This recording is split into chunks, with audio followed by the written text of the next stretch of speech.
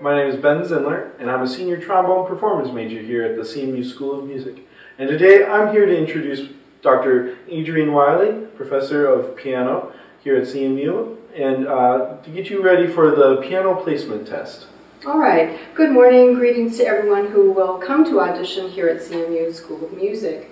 For those students that are intending to be a Bachelor of Music in Education with a choral or instrumental emphasis, you will need to take a piano placement exam. Um, we're standing in the room where you will take that test as well, and I think I'll use Ben as my example here. So all students will come to this room. Uh, we will ask you to play some scales, some arpeggios, and some cadences, possibly sight read as well. And then based upon what we see, we'll make our uh, evaluation and recommendation for where we'll place you in the program. So for example, I might say to the class, but to Ben, um, let's try a C major scale.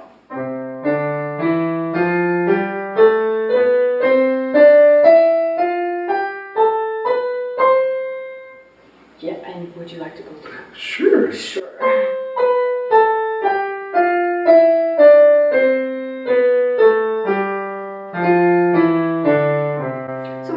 Several scales, white and black keys, and maybe try some minors. Uh, in addition to that, we will also ask for some arpeggios. So let's try an arpeggio.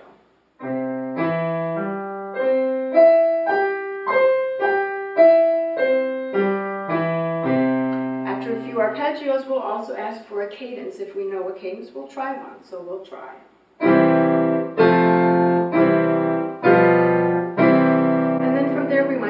Very good by the way, to do some sight reading, and then we'll make our assessment and evaluation and recommend where to place you. So there is no need to prepare anything for this day, you just come and we take care of you.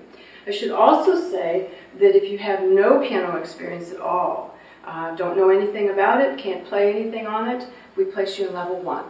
So there actually is no need to do the audition placement test with us.